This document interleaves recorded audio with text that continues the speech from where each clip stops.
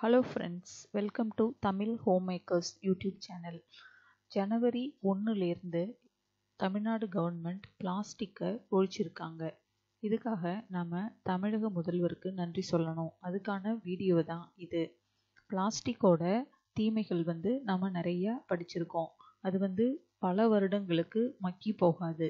அதை எரிக்கும் போது நிறைய கெமிக்கல்ஸ் ரிலீஸ் ஆகுது. இது வந்து நம்மளோட உடல் நலத்திற்கு கேடு. அது இல்லாமல் நம்ம காலையில் எந்திரிச்சோடனே பால் காஃபி டீ தயிர் வெண்ணெய் நெய் கோமியம் விபூதி இந்த மாதிரி நிறைய பொருள்கள் வந்து பசுக்கிட்டேருந்து நமக்கு கிடைக்குது. பசு வந்து நம்ம வாழ்வில் பிரிக்க முடியாத ஒரு உயிரினம். ஆனால் அந்த பசு வந்து இந்த கேரி பேக்கெல்லாம் சாப்பிடுது. அப்போ நமக்கு அதுக்கிட்டேருந்து கிடைக்கிற பொருள்கள் வந்து எப்படி இருக்கும்?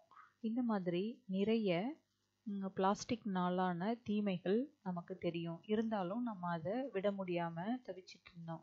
ஏன்னு கேட்டிங்கன்னா அது வந்து லெஸ் எக்ஸ்பென்சிவ் விலை கம்மியாக இருக்கிறதுனால நம்ம அதை நிறைய யூஸ் பண்ணோம்.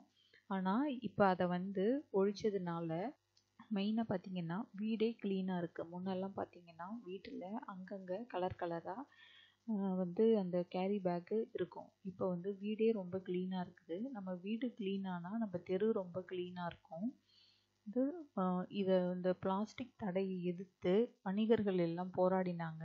ஆனால் அதுக்கெல்லாம் வந்து செவி மடுக்காமல் தடையை வந்து அறிவித்த முதல்வருக்கு நாம் நன்றி சொல்லணும். இதே மாதிரி வந்து எல்லா விதமான பிளாஸ்டிக்கையும் தடை பண்ணணும். இன்னும் மேலே சமுதாயத்துக்கும் மக்களுக்கும் வருங்கால சந்ததியினருக்கும் நன்மை தரக்கூடிய நிறைய முடிவுகளை முதல்வர் எடுக்கணும் அப்படின்னு நம்ம இது மூலமாக கேட்டுக்குவோம். நாம் இந்த பூமியில் உள்ள வளங்களை அனுபவிக்கணும். அதை அப்படியே இல்லைன்னா அதை இன்னும் மேம்படுத்தி அடுத்த ஜென்ரேஷனுக்கு நாம் விட்டுட்டு போகணும்.